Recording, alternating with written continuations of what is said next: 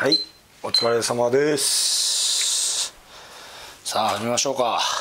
今日は塗装業界悪質訪問販売に騙される人々か。詐欺騙し当たり前って書いてあったと思うんですけどサムネにね。またちょっと釣りっぽいことば書いてあるのでちょっと申し訳ないんですけど。まあだけどあのね、まあ、ちなみに今この動画撮ってる昨日かな？昨日かその前にあの訪問販売業者、まあ、まさにまあ悪徳かどうかって、まあ、3社ぐらい見積もり取ったんですよ。でそのまあアポイント取ってあの実際に俺がね潜入捜査っていうか、まあ、眼鏡して変な帽子かぶって見積もりを取ったの。社員の家を借りて。うん。でまあどんな風かなと思って。ね訪問販売って実際にどういうこと言うかって、まあ、音声では何回か聞いたことあるんですけど。まあ実際に見積もり取って自分が喋っていろんなことを聞いてやろうと思って。なかなかさ知らない人に見積もり頼んだことはあるんだけど法案とかから。で音声聞いてるだけじゃまあその食い込んだこと聞けないじゃないですか。でまあ僕が本当に喋ったらどういう態度に出てくるんかなって、まあ、塗り替え道場の社長って言ってないんですけど。まあ途中で言うかな。途中で実は塗り替え道場の社長が知り合いでまあこういうこと言ってた。シーリングは大切だよって言ってたんだけどとか、まあ、いろんなこと言うんですけどまあその時はさすがにビビったのはあの塗り替え道場はなんか何ちとったかな。うん、なんか裁判沙汰が多いでしょうとかわけわかんないこと言ってたよねちょうち裁判はまあもちろんね何千頭もやってるんでまあ動画にもまるの話でお客さんにね変なお客さんに当たったって言ってまあそれでも裁判にならなかったけどね。まあ実際に裁判沙汰まで行ってないけど裁判の手前まで行ったっていうのは、まあ、何件かあるけど本当23件。もう何年もやってな逆に訪問販売なんか多分そういう言葉が普通に出るってことはしょっちゅうあんだろうね裁判沙汰みたいなねお金払う払わんっていうのがあるんだと思うよね。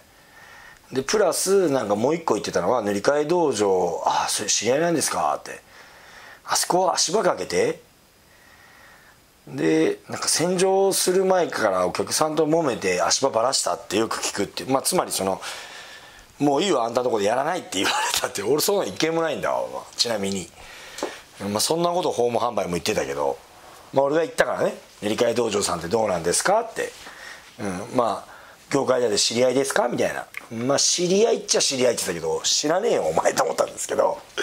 まあまあ、うん、面白かったんですけど。まあそれぜひまた見てください。リンクも貼っとくんで。でまあうん、まあこれは職人さんにも聞いてほしいなってもちろん思うんですけど一般の人にもまあ本当聞いてほしいなと思うんですけどなんちゅうかなだそれでも騙される人々か。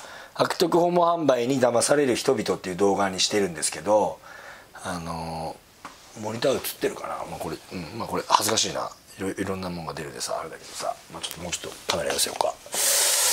でさまあ結局ですねそのまあ、何が言いたいかというとまず、うん、そのまあちなみに動画にしたのはまだいい方なんですけどなんでじゃあそのまあ本当は一番ひどいやつを動画にしたらよかったんですけど隠し撮りしててさそのマイクをなんかそのワイヤレスみたいのを使ったせいでちょっとね音があんまりうまく取れてないなみたいので一番音が上手に撮れたやつを使ったんですけどでプラスまあその使った動画はあの再提出でももう一回読んであとはもうみんなあの初回訪問でもうあのガツガツ来て、まあ、断っちゃったからあの、まあ、使えなかったんだけどその、まあ、もう一社はあの、まあ、提出でもう一回読んでもう一回質問ぶつけたろうと思ってめ、ねあのまあ、正論でぶつけてったったら、まあ、何にも答えれんかったっていう動画でちょっと面白いんですけど本当にもう、まあ、言い合いまではいかないけど。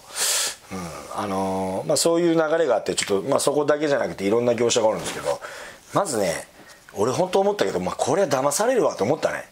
この俺でも塗装のことしてても鼻から決めるつもりなくてもなんかここまで言うんだったらもう一回濡らしたろうかなって思うぐらい、まあ、金払ってもいいからって思うぐらいなんちゅうかなへっちゃら。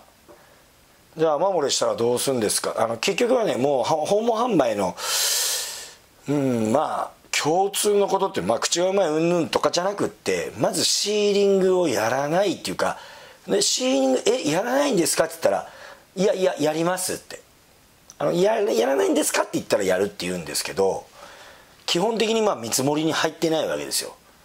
でこれ何メーターなんですか？って言ったら、うんまあ、こういうのを平米で出すからとかなんかわけわかんないこと言ってメーター出せない。だけど作業ってメーターじゃないですか。だからメーターで出すのが用出し方わからんだよね。やったことないから。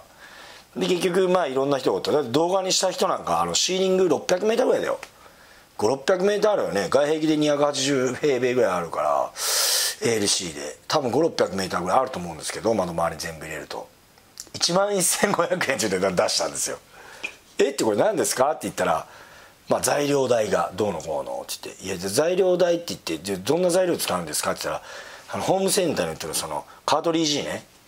いやだけどカートリージーってあのだ確かあれ350か400ぐらいでしょ？CC でしょ？500入ってないでしょあれ。でそうするとあの1センチ角か？で1センチで 10, 10, 10ミリだから 10cc だよね？で350だから何メーター伸びるんだ？いまあ1センチ1センチ1センチ角でうん？10cc だもんね。あの 10, 10平方センチあミリメートルか。10平方ミリメートルだから35平方ミリメートル伸びるの？なななんかよくわからんけど。でも3.5メーターぐらいしか多分伸びないんだよねだってだってよう言ってシーリングまああれまあ増し打ちだもんであれだけど5メーターぐらいしか伸びんはずなんだあんなカートリッジなんか。ほんで何メーター伸びるんですかって言ったら40メーターぐらい伸びるって言ったから1本。だってそれはそうだよね。あの1本。編成だなんだって言ったらねホームセンターでも700円とか800円。編成だったら1000円ぐらいか。で売ってんだからさ。でホームセンターで買ったらだって1000円ぐらいですよねって。編成なんてって言ったら。そうですね。だって11本でやりますだだって 500m あるじゃないですか。って言ったらだ1本 40m ぐらい伸びるんですよ。40m って言ったら家ぐるり回れますよ。ってあんなカートリッジで 回れるわけないじゃんって言ったらまあしのごのしのごの言っとったけどカートリッジを使うっていうことでももうまあまあびっくりだし。だってもともとやるつもりなかったと思う。でなんか言っとったのは縦道しかやんないから大丈夫ですとか。ちょちょ横道関係ないでしょ縦道も横道もないし。窓周りもあるしって。じゃあ本当にひどいよ。だけど他の業者なんかまあ他の業者もシーリング入れてきとったけど入れてきとったっていうのは俺が質問しちゃったからね。だけど結局まあ似たり寄ったりの回答でしたよ。でそれがちなみにあの支店長クラスとかだよ。私この業界十何人いますとそのこと何でも知ってますって言ってたけど結局なんちゅうんかな。まあねあのサムネでは詐欺だなんだって入れて、うん、まあちょっと大げさなことこいつ喋っとんなっていうのもあると思うんですけどまあ俺はまあまあなんちゅうかな、まあ、詐欺よりひどいと思いますよ。うんまああんまり人の悪口言っちゃうけどまああれはいいよね。完全に俺の俺に俺の悪口言ってんだからうちの会社の悪口をね。あんなのひどいもんでしょって言って、うん、安いだけが売りでしょうって言われたもんでいやいや安いけどうち別にめちゃいい仕事してるんだけどねって。シーリングはね別できちっとやるし、うん、まあ塗装は塗装足場は足場でね。自分のとこで考えてるとはなかなかないでしょ。多分これ動画聞いてる塗装屋さんで「いやうち足場も全部やるよ」ってあの足場の職人がだよ。塗装の職人がやったらだって下手したら3人で1日かけて組むんじゃない？まあうちで働いてる子で足場もやってましたって子もおるけど大体2人か3人で1日で組みますっていう。2人で1日で組めば優秀じゃない？大体3人大体1日ぐらいで組んでるって言うんだけど。ね足場屋さんじゃん違うんだね。3人で組んでばらしくるでしょ。ってことは1軒の足場に対して3人しかかけれないんだよね。単価的に。まあ利益のこともあるし材料費のこともあるからね。なんかもっと安くやってますとかたまにコメントで来るけどまあ最下最下で手間だけでやっとるやつらもおりゃねトラック持ちの子もおるし、まあ、いろんなのがあるけどまあ足場材トラックやっぱ買ってね保険まで入ってねまあましてやうちも従業員にねしっかりした給料も払ってちゃんと有給もつけてね残業代ボーナスも払ってってまあ一発のことやろうと思やそれ何お金いるしさ高くないよね。ゼネコンだったら千円何百円って出てんだからさ足場なんかいくらでも。まあ仕様は違うけどねもちろん。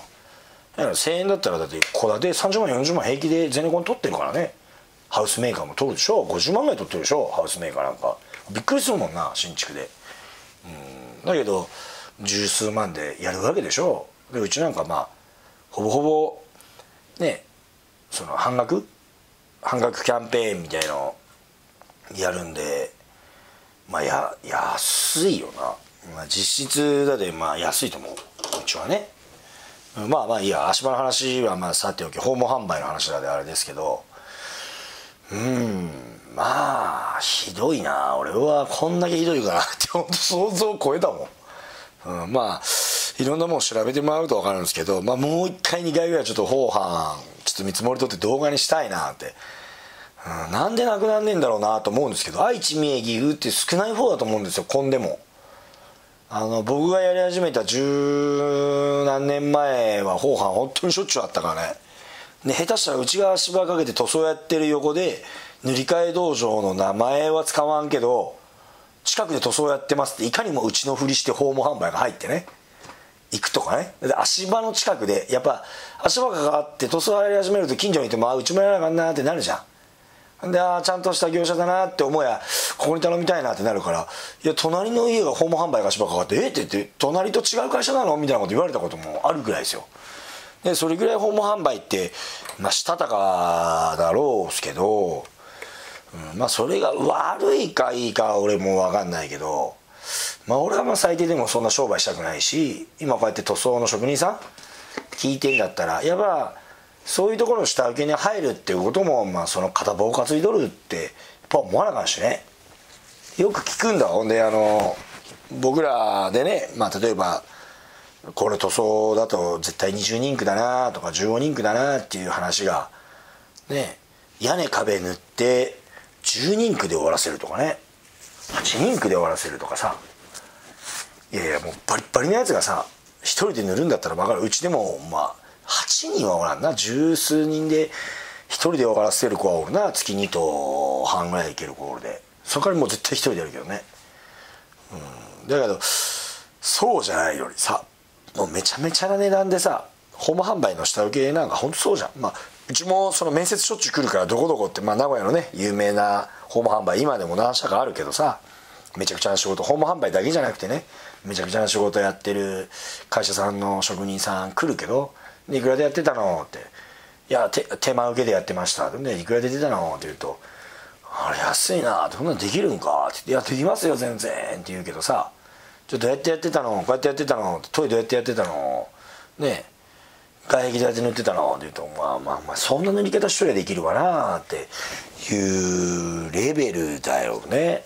うん。まあうちも本当に昔ね8年前9年前10年前ってやっぱまだ立ち上げた当初でいろんな職人さん使ったけどさまあひどい職人はひどいもんな。でそれをお客さんにねやっぱクレームになってうんまあ頭下げてやり直したことも何回もあるけどまあこれはあんまりお客さんに聞かれたくないけどね。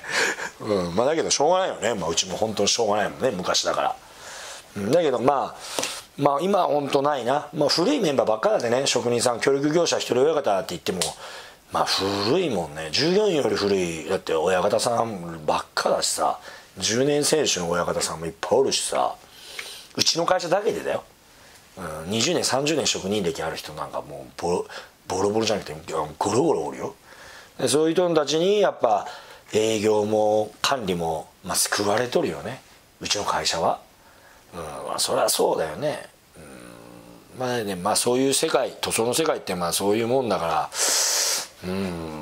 まあ訪問販売やってまあ驚いたけどね。うん。まあ訪問販売の話だけどまあ職人さんこれから独立しようと思ってる職人さんも、うん、まあ安売りするのはいいけどやっぱいい仕事してね。うん、綺麗な仕事してやっぱお客さん喜ばすのが仕事だね。